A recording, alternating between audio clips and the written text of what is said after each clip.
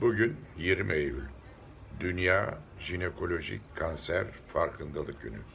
Hanımlar, bugün ile dünyada kendinize bakmak, kendinizi tedavi ettirmek, kendinizi e, rahatsızlıkları keşfetmek konusunda e, duyarlı olmanızı sizlere hatırlatmak söz konusu.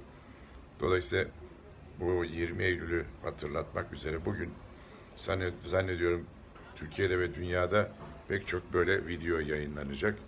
Kendini tanımak, kendinin farkında olmak zaten sanata evet değil mi? Bu da bir sanat.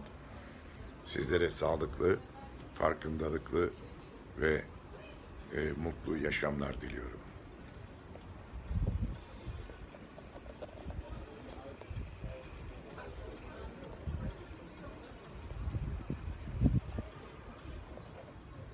Sanata evet.